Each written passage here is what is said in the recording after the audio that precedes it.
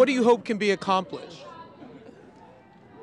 Do you think that can happen at the legislative level? We've seen it happen at the state level in places like Florida and here in New York. You know, I'm like everyone. I don't know, but th- this is what we can do, and uh, so I'm here to do it. Um, one of my best friends was killed in gun violence right around here, so uh, it's important to me.